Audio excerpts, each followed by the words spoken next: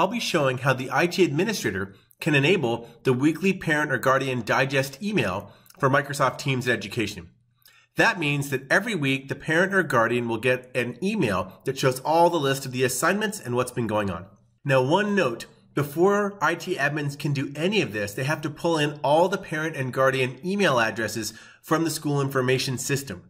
This page here, and there's a link below, will explain to IT admins exactly how they can pull all of that parent and guardian email data into School Data Sync and make this weekly parent digest available.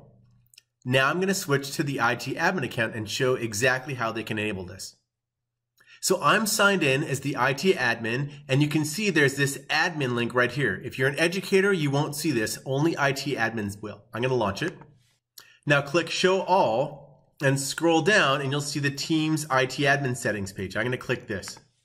Now these are all the different Teams admin controls. I'm going to go and click assignments right here. Now, right up at the top, Weekly Guardian Email Digest, and I'm going to turn that on.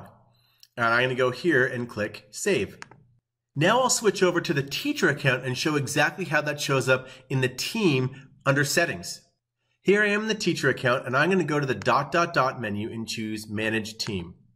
Under settings, you'll now see parent and guardian emails is appearing and I can open this up. It's turned on by default. If I don't want this, I can uncheck it, but you can see now this is where you go to control parent guardian emails that go out automatically. Just a reminder, the IT administrator has to turn on this feature and the IT administrator has to make sure all the parent emails are synced into School Data Sync automatically from the SIS.